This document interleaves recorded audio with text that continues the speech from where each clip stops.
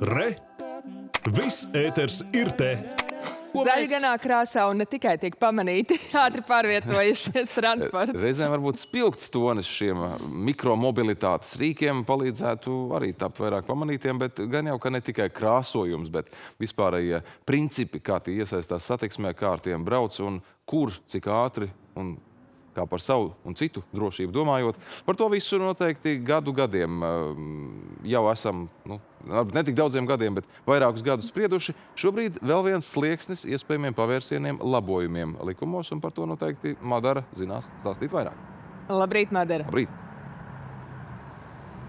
Labrīt, kolēģi, labrīt, skatītāji. Jā, skaistais laiks izvilina no iela, uz ielām cilvēks ar dažādiem braucamajiem. Un kas būtu jāzina pirms sēsties pie stūres? Vaicāšu CSDD pārstāvēja Ilze Šukēce. Labrīt! Labrīt. Kāds ir tās tipiskākās kļūdas varbūt?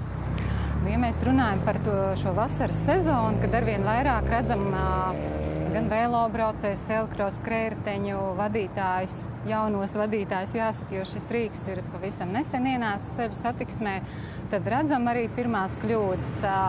Kā pirmo es minētu to, ka cilvēkiem ir šis iemaņu trūkums, vēl nav daudz pieraduši pie šī rīka, nav aptvēruši tā manevrēšanas plusus un mīnusus.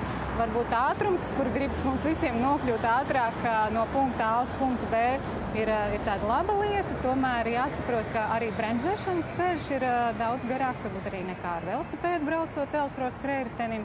Un tāpat arī tie mazie ritenīši ar manevrēšanu, tur tomēr ir jā, jāpierod un jāgūst tās ka iemaņas. elektroskūteri ir populāri jauniešu vidū. Varbūt mums jāatgādina arī vecuma cenzas. Jā, tik tiešām ar elektroskrējējiem tātad drīkst pārvietoties ceļu satiksmē sākot no 14 gadu vecuma, bet tādā gadījumā, ja ir jau velo, velo apliecība un uh, citas tiesības, kuras jau uz priekšu ejot, tajā vecumā var iegūt. Līdz ar to, nu, protams, ka uh, novērojumi rāda, ka jauniešiem šis uh, jaunais mikromobilitātes rīks patīk, bet nu, mēs redzam arī kļūdas, ka pārvietojas divatā, varbūt arī uh, Tad, kad ir kāds piekdienas, sestdienas vakars un uh, ir tāda ballīšu noskaņa jauniešu vidū, un, uh, un tāpēc arī, protams, atgādināšu, ka nekādā gadījumā nevienā brīdī tas nav savienojams arī ar alkohola lietošanu. Vai jums ir kāda statistikas dati, cik populāri ir šie braucamie līdzekļi? Uh, šobrīd uh, mēs redzam, ka nav, nevar teikt, ka tas ir pārņēmis pilnībā vai aizstājis kādu citu transporta līdzekli. Arī šobrīd mēs redzam, ka mums garām traucās galvenokārt mašīnas, bet tas elektroskrējējums ir tāds, tāds iekšējais, lokāls uh, Rīgas pilsētvidē, bet, protams, ka ir cilvēki, kuriem jau, jau tas tīri labi patīk, viņi ir pieraduši, grib būt neatkarīgi. Arī uh, iepriekšējos gadus Covid laikā korekcijas ir ieviesušas zināmas, par, zināmas paradumu maiņas mūsu ikdienā. Līdz ar to jā, mēs redzam, ka tie, to rīku kļūst ar vien vairāk, un mums ir jāsadzīvo būtībā uz tās pašas infrastruktūras, kas mums ir pieejamas šobrīd. Un jūs arī šodien sākat jaunu kampaņu. Pastāstiet par to. Jā, tieši tāpēc arī mēs esam uzsākuši tādu sociālo kampaņu sadarbībā ar Rīgas domu. Ar, ar mērķi vērst uzmanību galvenokārt jau šo, šo savstarpējo sapratni starp ceļu satiksmes dalībniekiem un vēlreiz vērst uzmanību to, ka būtībā ietver tā vieta, kur gājējiem jājūtas visdrošāk. Tas nozīmē, ka braucot gan ar velosipēdu, gan ar elektroskrējēju, ir jāsamazina šis braukšanas ātrums līdz tādam, ka, ka, ka šī te sadarbība un uh, apbraukšana var būt droša.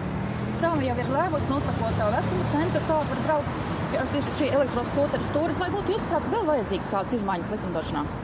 Jā, nesen notika diskusija ar ekspertu dalību.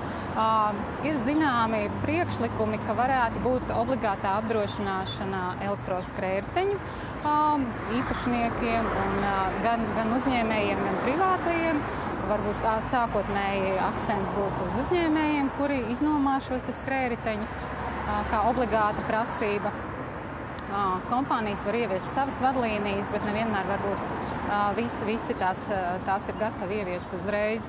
Un, Pilsētas pašvaldība vēlas tādu savu stingrāku regulējumu attiecībā uz ātrumu ierobežošanu. Atsevišķās vietās jau šobrīd tādas prakses pastāv. Līdz ar to jā, šobrīd mēs esam tādā jaunā posmā, kur mēs esam gatavi diskutēt un runāt un vērot, vērot kādu uzlabojumu nākotnē būtu nepieciešams.